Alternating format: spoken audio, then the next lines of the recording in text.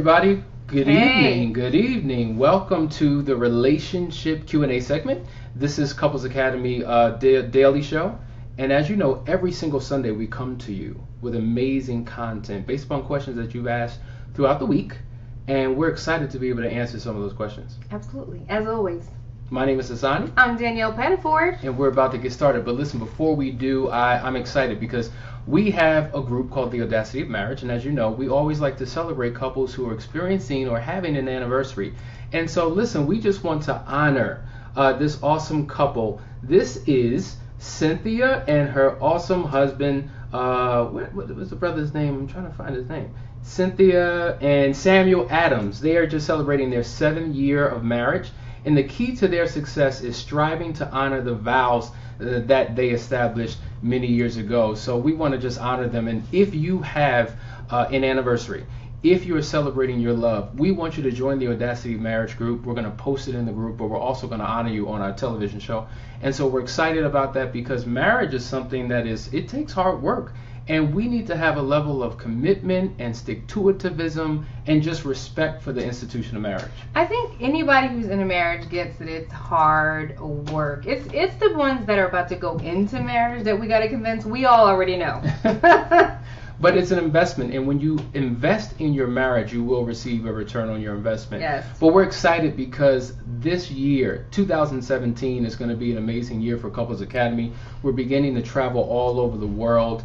Uh. People are requesting us in different parts of the, the globe. Globe. And we're excited because, listen, we have an amazing marriage conference coming up called To Have and to Hold. Marriage conference is going to be in St. Kitts. We want you to register, get involved. Listen, go to Redeem Promotions. You can find them on Facebook. You can go to their website. You can call the number. We want you to participate in it because it's going to be an amazing experience. And so on Friday night, we're going to be talking to singles. yeah. And on Saturday, we're going to be doing an amazing marriage conference. And then on Sunday night, we're going to top it off with a cruise. So listen, the the price is amazing, the location is amazing. We're going to have an awesome time. Mhm. Also, in I think in August, we're going to be going to Johannesburg, South Africa for another marriage conference. So check this video out.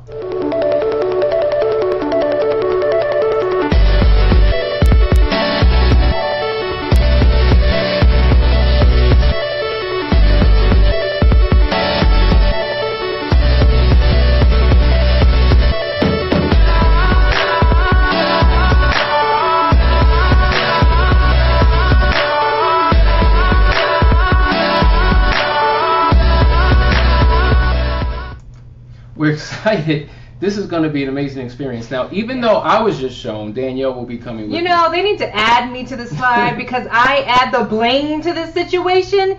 We need to talk to them to have them add a picture of me. Yes. Yes. Yes, Yes. We're gonna do well, that. one thing that I'm really excited about because we're doing all these um, trips and we're doing all these marriage conferences is that if you know our story, which anytime we come out, anytime we speak anywhere, we tell our story. This is a culmination of years and years and years of vision planning and working and hustling and flowing. And now all of this stuff is coming into play where we're actually together going out and working together to save marriages. So this is humongous that we're actually doing this, and it all started with the audacity of marriage. That's right.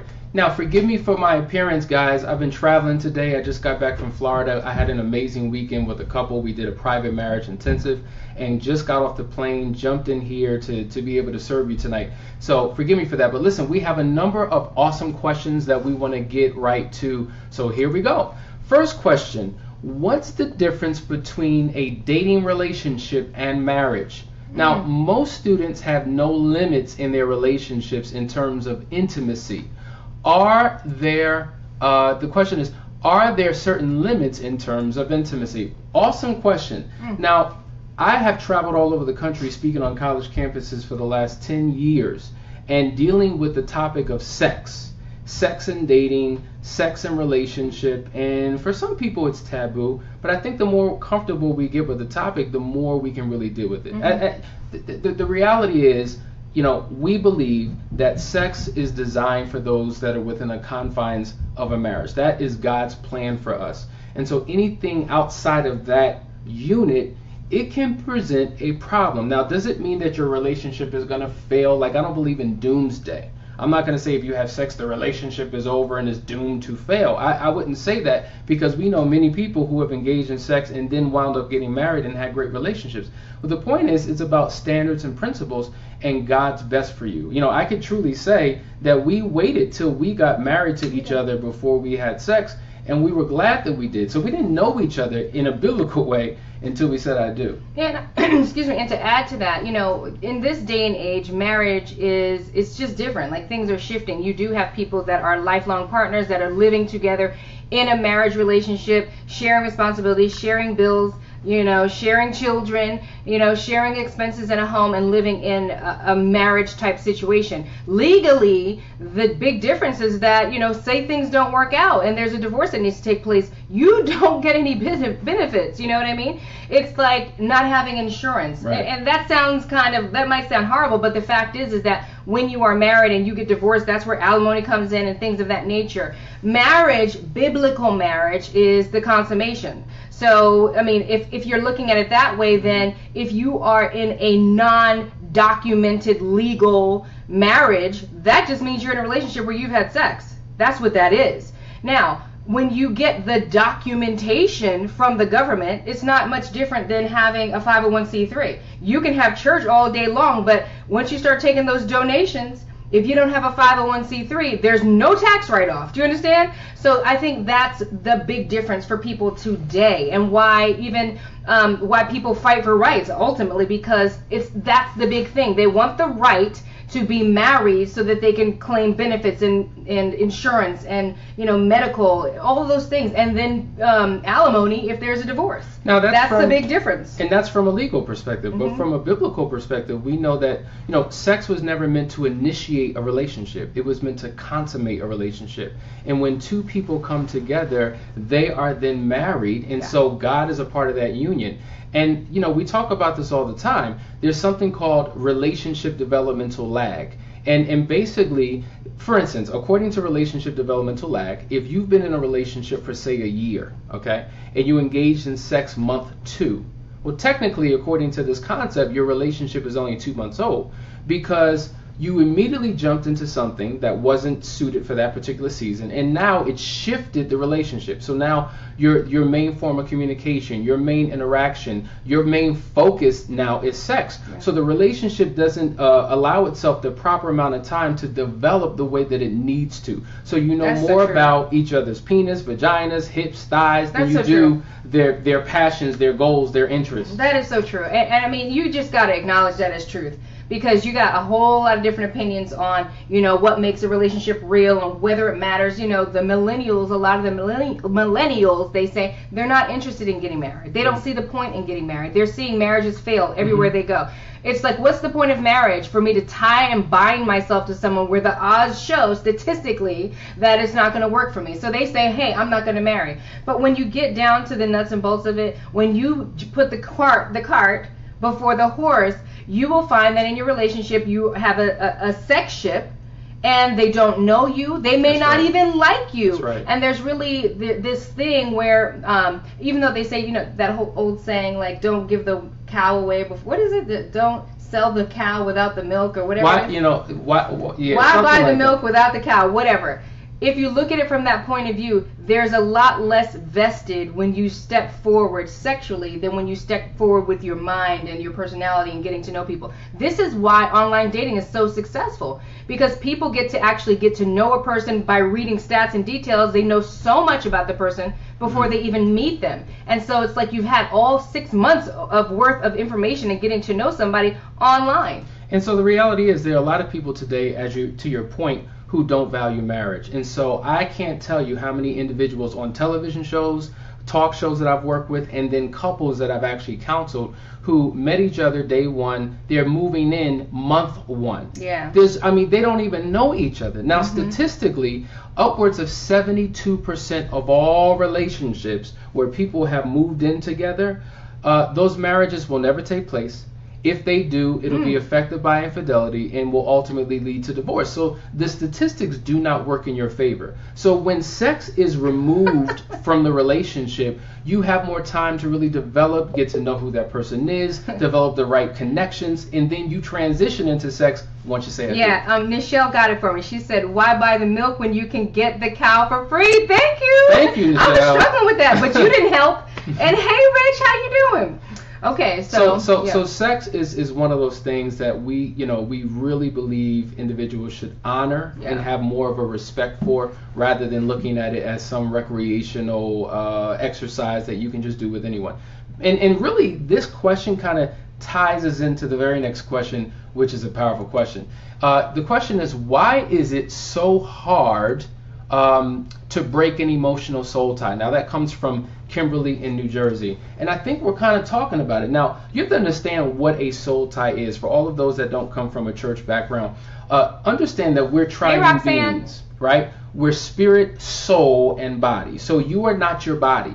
Okay? You are a spiritual being housed in a physical body and you possess a soul. Now, the soul is where the mind, the will, the emotions, the thoughts, the intellect, the imagination reside.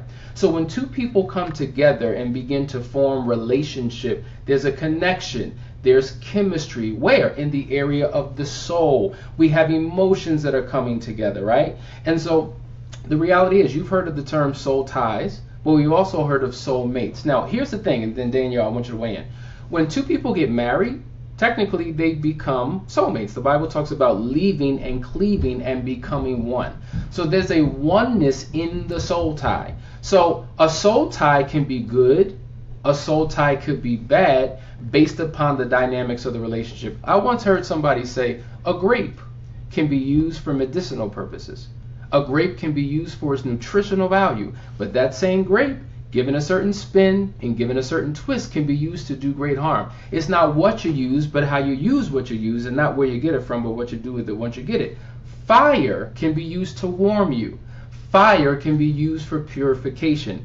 But beyond benefit, it can lead to detriment, even leading to the loss of life. Once again, not what you use, but how you use what you use and not where you get it from, but what you do with it once you get it. So in context of soul ties, soul ties can be good in a covenant relationship and it can be bad in a non-marital relationship because if you break up and now you're all emotionally sexually connected to that person and move on to the next and haven't had a detox getting that person out of your system, maintaining enough time to be whole and complete within yourself, you're entering into relational menage a trois because you're carrying that past pain from that other partner into your present relationship. Or that still emotional connection, and now your heart is split, your mind is split, and you can't give the new person all of who you are. So it's hard to break because you're you're, you're involving yourself in things that are premature for the nature of that relationship. Yeah, I agree. I mean, you said it all. P- pretty much, this is why you have people that um, you know, they struggle with being alone because they've been with the last person. They have this broken heart feeling. They, they're devastated. They can't move on. They don't understand why this person has gone and left them. You really get a little psychotic about it because it's like tearing two people apart. I once saw, um, actually, it was my kid's youth pastor who did this, where he explained soul ties like, you know, he grew, he glued two popsicle sticks together. Mm. And he basically um, tried to break them apart. And when he tried to break them apart, they broke and just tore the heck up. Wow. And that's and it was really a powerful demonstration for kids to see because he was talking about why you should not engage in sex mm. as, in mm. premarital sex as a teen and all that. And um, it was a really powerful demonstration. But yeah, you're mm. broken. Mm. You're broken, and then you take all your broken pieces in a bag and you drag it to the next person. And this is where you have mm. the um, what is that relationship that follows the relationship that follows right after a really hard breakup Oh, the rebound relationship? The rebound yeah. relationship.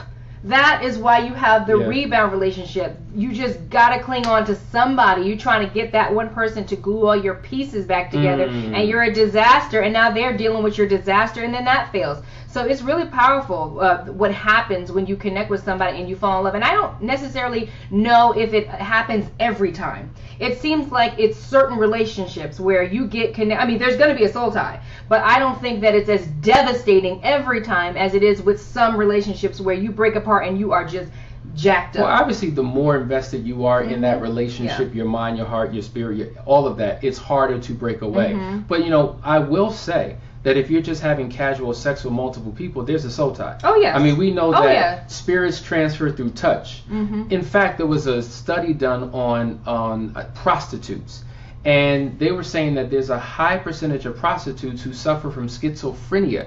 They have multiple personalities because they've been involved with so many different people. Yeah. So I, you know, I want you to understand that whether it's some short-term relationship, some one-night stand, some long-term relationship, there's a residual effect of everybody that you connect with, and that's why it's so difficult to break a soul tie. And last point, because I never heard that that example you gave, but that's a mm-hmm. powerful example. Mm-hmm. I always was given the example: if you take if you take gum, chewed gum, and stick it into the carpet long enough, Mm. and then try to pull the gum out of the carpet, there are going to be fabrics of the carpet that are stuck in the gum Mhm. and pieces of the gum that's now stuck in the fabric of the carpet.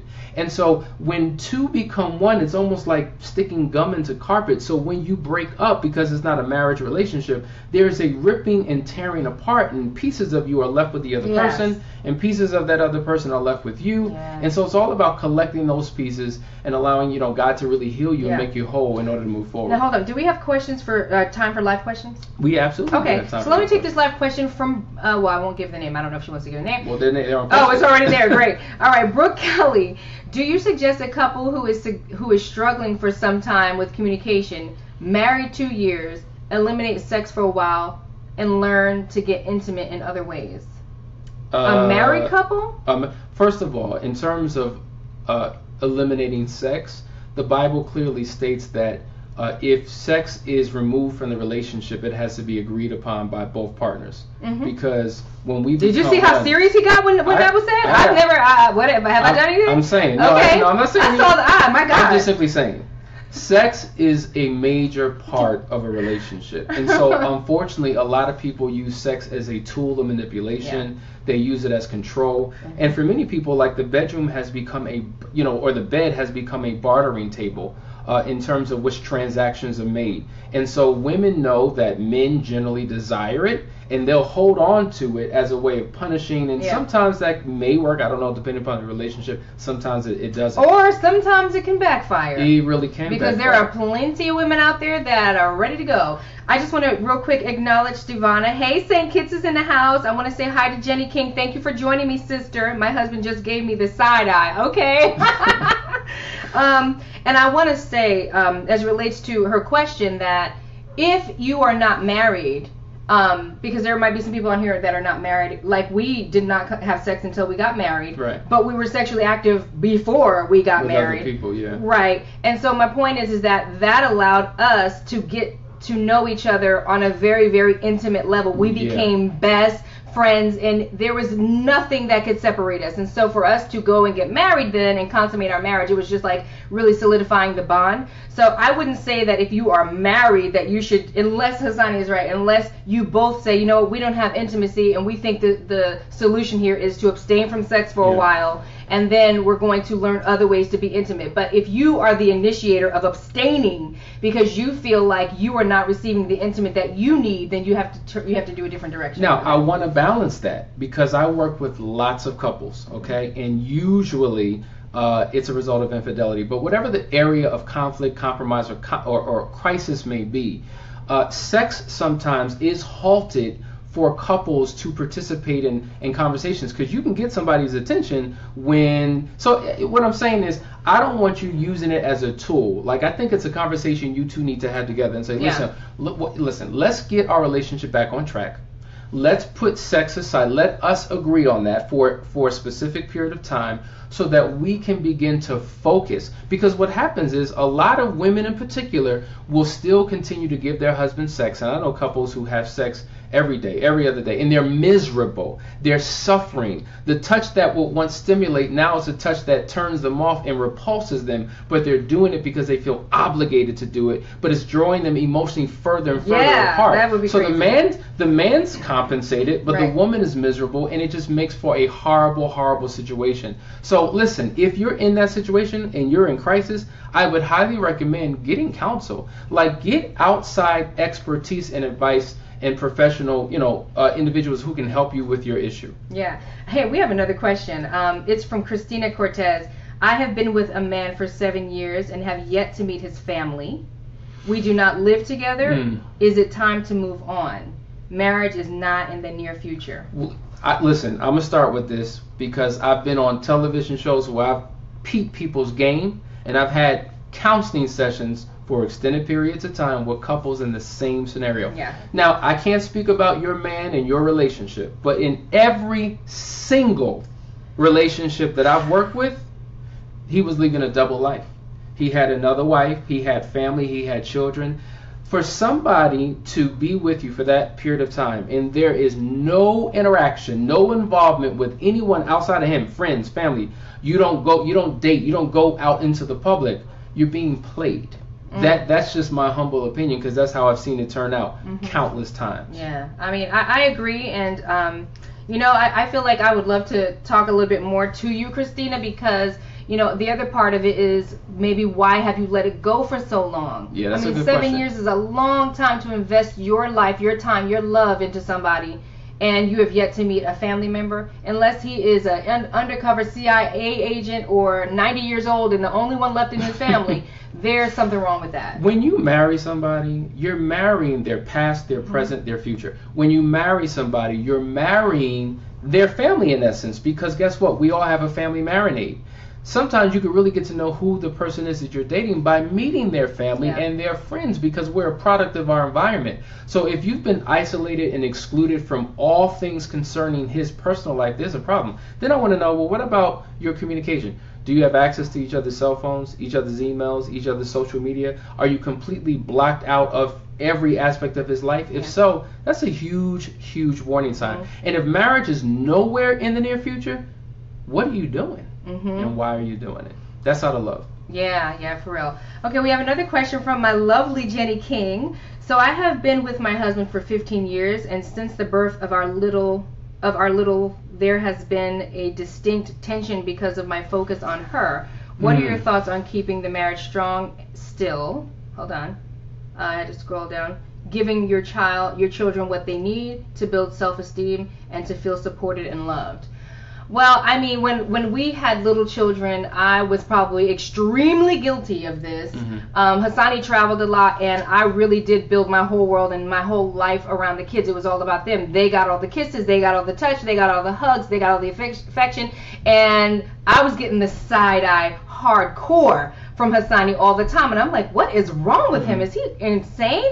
Well, later on, I discovered that this is a thing. This is a real thing where husbands feel neglected and ignored because the wives are giving all this attention to the children and have forgotten about them. I mean, my God, first the baby comes out, then they're sucking on your breast. Then you go from them, they go to a bottle. Then now you're cuddling them, hugging them, rubbing on them. You're giving them all this attention, and they're left on the sidelines. So I mean, it really just is about balance. You know, for for Hasani and I, the affection thing has always been something that was an issue on the table. I'm not the affectionate one. He is. He's the one that wants the hugs and the kisses and the touches. I'm really good with a pat. How you doing? You know. As a matter of fact, I prefer my hugs that way. Pat me on the back. You don't need to rub me. you know. And so really, what we've had to do is balance that and actually schedule time for intimacy. It sounds like it's not romantic. I felt like it wasn't romantic in the in the beginning trying to schedule these things, but actually it relieves that tension. That tension where you feel like you're trying to avoid the person all the time because you know you haven't, you know, given them their love language, you haven't touched them in a while and you really just don't feel like it and you've got 800 other things to do. When things are scheduled, it relieves the tension. Everybody knows when it's going down, you do too, and you can set your mind and priorities according to that calendar. Excellent response. Um, excuse me. I'm just going to simply say, you know, one of the marital patterns that cause conflict, possible divorce, possible infidelity, and all types of issues is what we call the child-centered relationship. In this particular dynamic, we get married. She has on her wife hat. I have on my husband hat. But as soon as the kids come out, we take off those hats and put on a mommy and daddy hat. So the as she said, the love we give each other, we now give to the child. The time we used to give each other, we give to the child. The resources we used to give to each other, we now give to the child. And now the now, over time, I don't know her anymore. By the time that child is 16, 17, 18 years old and they get out, we're strangers living in the same household because there was no connection whatsoever. We were co-parenting but had no relationship. So the principle that we believe in with Couples Academy is partners first, parents second. Why? Because you came before your children, so that should be the order and the structure of the household. It's God, it's Christ, it's man, it's the woman, it's the children. So this partnership is the primary relationship. All things are secondary. Yeah. Now, last point. The children may get the quantity of time, obviously, but as long as there's quality time Right. between us. That's really all that really matters, where we feel prioritized. Mm-hmm. And when that's in place, I think you can resolve that issue. And last point on that that just popped in my head is it's really important for your kids also to know the pri- the order in the house. You know, they should not feel like they go before dad. They should know, okay, it's da- mommy, daddy, and then us. They really should know that and respect those boundaries so that now there is no divide between you and your spouse. Excellent. Any other questions? Yes. Um, Wow, this is good. I know. keep- I mean, we have prepared questions, but I'd rather go to the live questions and start off with the prepared questions in our next session. So keep them coming. You're welcome, Jay. Um, okay, so, hmm, that wasn't really a question. Okay, many ladies have been with guys for for years, five and more, and not seeing marriage in the near future from the guy she dating. Okay, Mhm. but I think men need to understand when a wife has so many other things on their mind. I think that might be two statements. I don't know if that was a question or not. What do you think she's saying? I think what she's saying is, um, you know, that women are dating men and they are not seeing marriage in the near future. And this is very true. Um, I know this, this is a major um, issue for my girlfriends here on the ground in Georgia and in, in New Jersey who are single.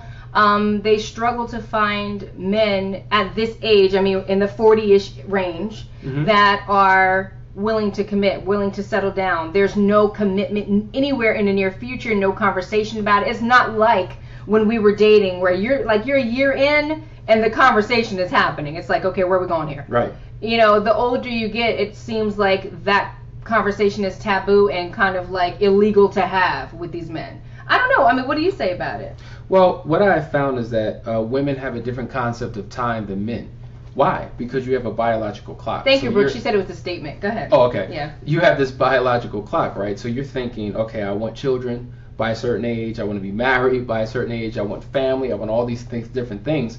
And so you get caught up in a relationship that uh, it Gotcha. goes beyond uh, where it should, holding on to the hope that one day he'll get himself together and then eventually he'll wind up, you know, falling in love with you and then you'll wind up getting married. Mm-hmm. I think that's problematic. I'm not saying that you should put a time clock on people, but I am saying that you need to realize where you're stuck. We talk about the four seasons of a successful relationship all the time. Dating season, committed courtship, engagement, and marriage. So the question becomes what season are you in? And how long have you been in that season? A season shouldn't last forever. You can prolong seasons, you can shorten seasons. If you look at a fruit, right? If you pick a fruit from a tree too soon, it's not ripe. You bite into it, it's raw and bitter, doesn't taste good. However, if you pick that fruit too late, now it's spoiled, it's corroded, you got worms in it, it's brown, it's disgusting. So it's all about proper timing. You know, if there are four seasons to a successful relationship, in my humble opinion, not that I believe in strict guidelines, Yeah. but a relationship should be, you know, you should be with somebody at least a year. There's four seasons in a year, in order to begin having real conversations about the possibility of marriage. I, I mean, you know what? To balance that though, because um, I find that people who are online dating are getting married way faster. Like six to eight months is not uncommon for me to hear online dating. But let me tell you, I have a problem with that though. hmm For instance, whether it's online dating or people of a certain age, like once I hit my 30s, my 40s, my 50s, I already know what I want. I ain't wasting my time with trying to, you know, be with somebody for too long. I want to get married. Mhm. So people go from hi, my name is to I do. And that's a problem Mm. because once again, the relationship developmental lag. You haven't had enough time to get to know who that person is. Mm. I know people who have had bi-coastal relationships, and there's nothing wrong with that either. However, there are elements of a bi-coastal relationship that are missing than if you two were physically together. Yeah. And so what happens is because we're apart, you know, one part of the country, we want to get together, let's move in, let's get married, and boom, we have it. And then a couple months later, you're like, I'm not, you're not the person that I thought I knew. Like I didn't I don't really know you. Now you enter into another form of crisis. So I don't believe in putting strict guidelines. It's got to be this long or this short. But you you you have to take time to properly develop Yeah. the relationship you're in. I agree. No more questions. All right. Well, we have time for one more question before we. This is a deep one. Uh, let's put it on screen. My husband, okay, was recently caught in adultery. Um, how do I bring myself to having sex with him again? I still compare myself and wonder if he's thinking of me or the other woman. And that's from Sarah from Botswana. Botswana obviously is in Africa. Deep question, very good question. Let me just say that I, you know 97% of my clients um, are impacted by infidelity. That's primarily uh, what I work with. And so, in this particular situation, it's important to understand that for many people, cheating and infidelity is not necessarily about the sex. It, it, so, if it's about the sex, more likely you're dealing with somebody who's having a one night stand or someone who is involved in sexual compulsion and they have a desire that they can't control, their wife can't fulfill them, and they go out seeking sex everywhere they go. But most people who are in uh, uh, an affair for a few months to a few years, it's more of an emotional connection. And so all the research will tell you is more about desire than it is sex. Now, sex naturally occurs in that type of close relationship where there is intimacy and a soul tie. But they're not initially. See, I say this all the time. Infidelity doesn't begin in the bedroom, it ends in the bedroom. So there's a gradual process till it leads to sex. And unfortunately, a lot of um, hurt spouses who are going through this have a tendency of comparing themselves to this phantom woman. They don't always know what that woman looks like. They don't know who she is because that's not revealed. Or even if that person is revealed, now it's about am I performing the way she's performing and what is she doing better than I?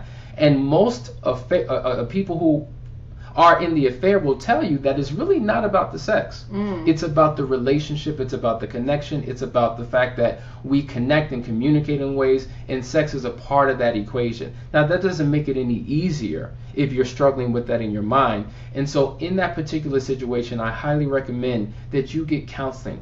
You know, even with the best of intentions that you may have and your spouse may have to reconcile, you know, you've heard the expression before the road to hell is paved with good intentions.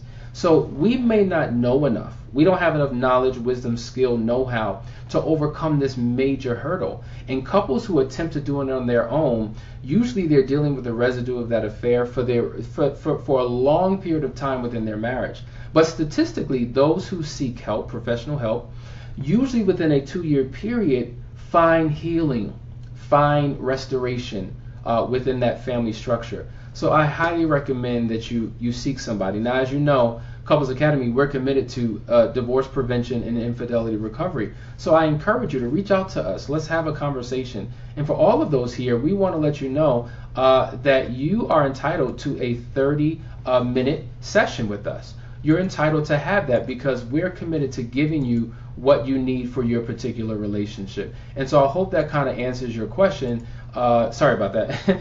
and, and, and helps you through. Um, but listen, these were great questions. Oh yeah, I, I, we love the questions coming through. Keep them coming. When you send them in, we'll we'll have them prepared as a slide, Yeah. or you can ask them live. So this was really great. Listen, I hope you learned something today. We want you to share before we close. Share this, put this on your wall because there's so many people who are in need of help, and you may be the very thing uh, that they need. You're the vessel, you're the conduit, you're the instrument, you're the one that's going to help them get where they need to go. So we want to let you know that we love you, and we will see you on next week. See you soon. Good night. Bye.